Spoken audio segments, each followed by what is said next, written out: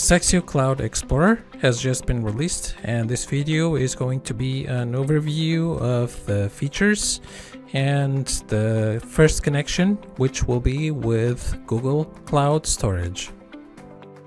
The first thing that you're going to notice is that on the Planner dashboard we now have two new buttons, one for Google Stacks and one for Cloud Xplorer. These buttons allow us to enable and disable the panels that we would like to work with. So for example, if I just want to work with the Cloud Xplorer, I can disable the Google Stacks uh, card. And this way, I only I can only see the Cloud Xplorer. So if I choose to disable also the Cloud Xplorer, it's going to hide uh, the Cloud Xplorer panel, right?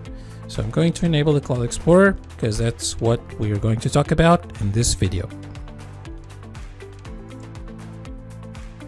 So you might be asking yourself, what is Staxio Cloud Xplorer? Staxio Cloud Xplorer is very similar to Windows Explorer and it allows us to see the files and folders and buckets that are created and available on our different cloud platform accounts. The first cloud platform account that we have connected to is Google Cloud Storage. The things and the things that we can do and the functionalities that are available on these different cloud platforms are actually very similar to each other. And that means we can do things like upload files, we can create folders, and we can create buckets, and we can delete them. And this is what allows us to have a single Cloud Xplorer interface and connect to multiple and different uh, cloud platforms in, from a single dashboard we really wanted to have the same tree view structure and the same look and feel as we see with Windows Explorer. And we can tell you that we are quite happy with the result that we have accomplished. So the tree view structure that you see here in this account, where we have the a bucket called Staxio Public, we have three folders, the Google Cloud Stacking folder, the Google Entity Stacks folder, the Google Stacks for SEO folder and inside each of these folders we have these files. So we have keyword 1 HTML and then we have a couple of image files. We have the same functionality as a tree where we can open and close the nodes on the tree. We can expand and collapse the tree and we can open the links individually on each of the files available. So I'm going to open the keyword 1.html link on a new tab. I'm going to open the keyword 2 HTML link on a new tab. And I'm going to open this folder.png image. And lastly, the Google Stacks, the cloud.png inside the Google Stacks for SEO folder. The Cloud Xplorer also allows us to select multiple items from the tree. And I can do that by holding the control button and then clicking on different items.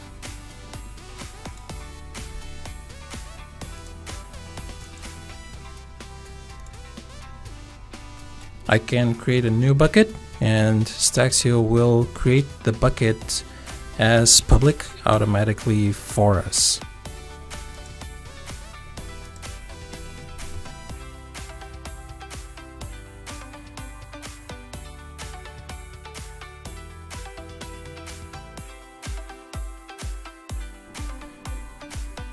I can delete an item from the tree.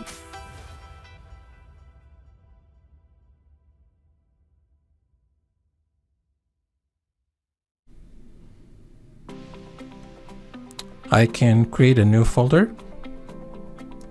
So I'm going to create a folder on the bucket I've just created.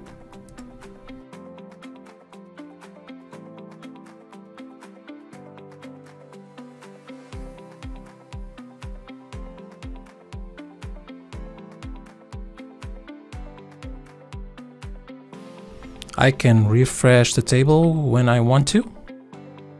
And I can download all the links to a CSV file.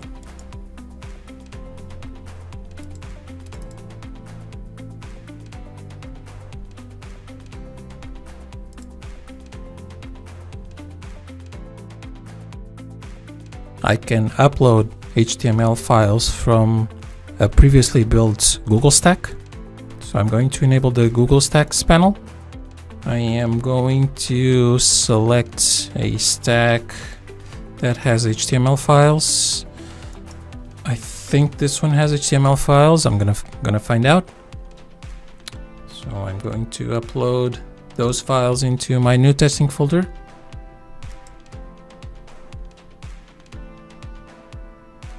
Alright, no HTML files were found, but I'm going to see probably this Google Stack has HTML files. Let's see, I'm gonna select the folder I want to upload HTML files to.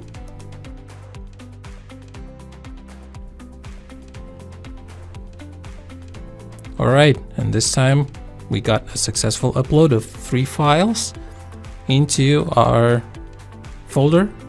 This is keyword 1, keyword 2, and another HTML file. So I can open these files again if I want to by clicking on the link icon here.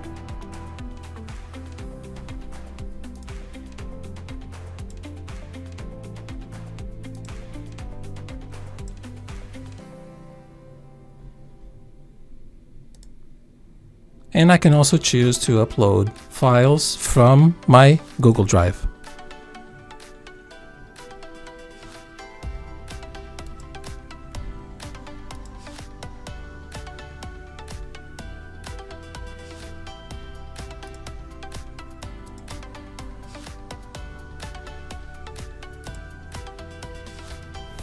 Okay, I need to select the folder, the place where I want to, and this time I'm going to select the bucket, and I'm going to upload these files into the root folder.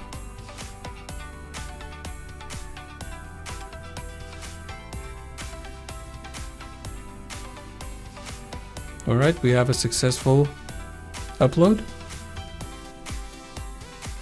And there's our file. In this case, it's, it's a CSV file and once we open the link, what is going to happen is that there will be a download on the browser to this file. And there was a download. And one more thing we can do is that we can upload files from our hard drive, from our local hard drive. So I'm going to pick a file which can be this one, the Google Cloud.png I'm going to upload this file to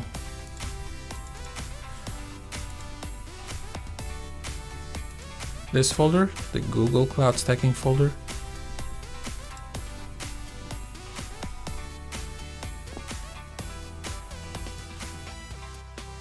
And we have a successful upload.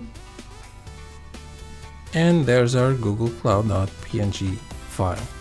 And an example of how we can perform multiple actions on our tree. Now I'm going to select different items.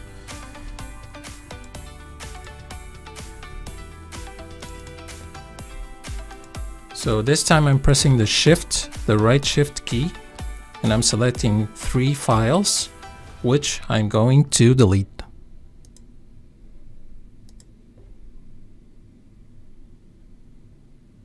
Alright, we have three successful delete actions and no more files. But let's say that I would like to upload the same file to different folders or different buckets. So I select this folder and holding the control key, I'm going to select this folder and I'm going to upload the Google Cloud file this one to two different folders at the same time. I'm gonna click the upload button.